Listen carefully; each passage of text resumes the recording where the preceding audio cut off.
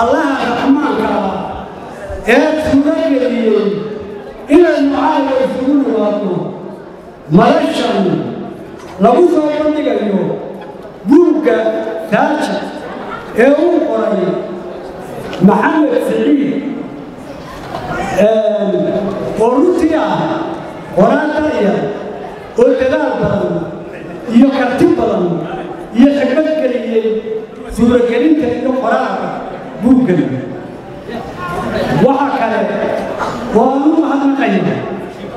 aad iyo aad baan u bogaadinaya dhammaanba marti sharafta ka soo qayb gashay ee fadhida xafladdan aynu caawa isku nihi oo isugu jira xildhibaano guddoomiyayaal wasiiro agaasimayaal dhallinyaro iyo haldoor aad iyo aad qiimo intaa kadib waxaynu caawa madasha isku nihi xuska iyo soo bandhigidda buuggan uu qoray qoraalka dhacaya runtii buuggan wuxuu ka warramaya ama iftiiminaya oo sharaxaya dhacdooyin badan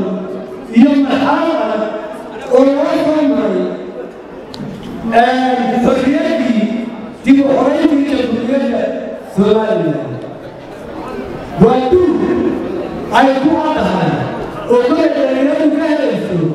goobo badan oo adkaa xilligii uu dhacay iyo taariikhdii maalintii bishii iyo sannadkii iyo goortiiba waxaa kale oo halkan fadhida oo caawa nolosha qaybka ah rag fara badan oo goobaha goobjoog ka ahaa oo dhaawac ku wada noqday oo ilaahay ka badbaadiyey inay maalintaa ka mid noqdaan kuwii ku shihiyey goobaha badan ee buugu xusayo balse majooratidoodu ay yihiin kuwii ku dhaawacmay goobaha uu xusayo buuggan waxaa dadkan caawa goobta fadhiya u qaybsan yihiin laba qaybood oo kala ah dadkii ka qayb qaatay ama ka soo qayb galay halgankii dib u jamhuuriyadda soomaaliya iyo dhalinyaro ubaxii dalka oo wax baratay oo ku ku kacaantay oo ku dhalatay oo wax ku baratay oo ku barbaartay. Intii ay jirtay jamhuuriyadda somalilan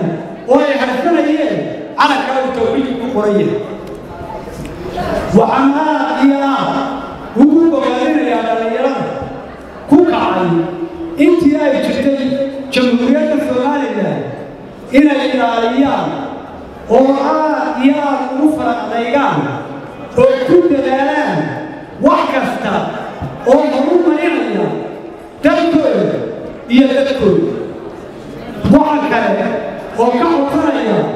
inay ka foojignaadaan tallaabo kasta oo loo arko inay dalkeeda iyo dadkiisa iyo nabadgelyadiisa waxumida ka haysa aad iyo aad baa loo codsanaya dhallinyarada waxa caawa anaga ku tusaya maadaama aynaan ka gelwanay goobihii iyo xilligii aynu soo marnay waxaa laga yaabaa in dadka caawa meesha fadhiya qaar badan ay dhahaan oo odaga waata iyaga waa fudud yahay. Laakiin laakiin waxaan u sheegayaa dadka caawa wadaka fadhiya waxaan u malaynaya wax iga daweyn inay aad u tira yar yihiin. Sababtoo ah kun iyo sagaal boqol siddeetan iyo siddeedkii magaaladan hargeysa ee caasimadda inoo ah ee wada fooqa ee wada laydhanaysa ee caawa iyadoo wada laydhanaysa harsanayno waxaan soo galay anigoo ah talmihii guutadii kaylcalay ee ciidankii xorayntii ururkeesanay oo ahayd lafdabartii iyo guutadii ugu awood badnay ciidankii xorayntii ururkeesanay waxaan kale oo halkan ka xusaya habla xilliga ka mid ahaa ciidankii xoraynta ee ururkii yasanin oo xilligaa aad u dayara kana qayb qaatay halgankii adkaa iyo dariiqii dhibta badnaa ee loo soo maray xorriyadda iyo madaxbanaanida jamhuuriyadda soomaaliya waxaan ka xurfi karayaa maluul yurub qabiil oo maanta ka mid ah golaha wasiilada ee jamhuuriyadda soomaaliya waxaa kalaan ka xusayaa faysal maxamed aadan oo aan marna qalbigay ka bixin oo aan xasuusanahay sagaalkii bishii koob iyo tobnaad kun iyo sagaal boqol iyo siddeetan iyo siddeedii ee riboorka caasimadda hargeysa duulaha anagoo ku soo qaadayna oo aan taliyo ka ahaa ciidankii hawlgalkaa fulinayay uuna igu wehelinayay nin hadiyay oo aad qaali u ahaa oo la odhan jiray daahir caynaashe ayaa faysoo dhaawaca waxaan ku yidhi fayso yadan gaadiidkan la joog oo adigu wixii dhaawacee la keeno halkan ku shaqee waayahay bay u tiri waanu soo baxnay dagaalkii wuxuu ka bilowday eeriboodka magaalada hargeysa cabbaad markii dagaalkiisa aan ciidankii dagaal gelinayno ayaa waxaan arkay faysa oo cimaamad yar madaxa ku duuban oo aan ninka horrayna raac hore waa inan xusid mudan waxay iminka aan filayaa inay joogtay ingiriiska iyo yurub. Meelaha meel ka mida waxaa kaloo ka xusaya inan la odhan jiray higoy oo aan ku ogaa eeriyada qodobka togdheer waxaa kaloo ka xusaya saare halgan oo aynu maanta aan u malaynayo inay joogto magaalada hargeysa. Dhacdooyinkii iyo xaaladii halganka aynu soo marnay ma aha oo halkan lagu soo koobi karo